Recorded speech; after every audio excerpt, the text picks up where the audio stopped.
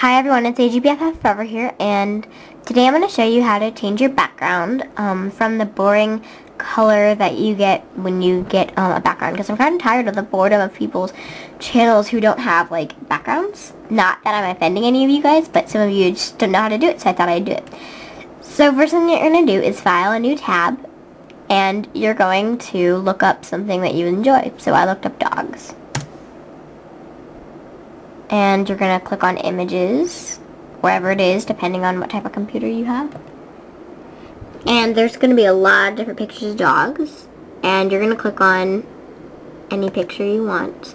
And I like this one so I'm going to click um, right click it and click save image as and then you can set it to anything you want. So I'll just do dog sorry. I just um, a doggy because I already have dog. So then you're going to click save. And it's going to save it up in your downloads. And then you're going to go to your channel. This is my channel, obviously. And you're going to go to themes and colors. And you're going to go down to um, show advanced options.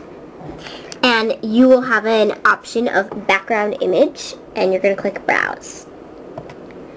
And then um, this file upload will come up again and you're going to look up, you're going to look up the name that you searched.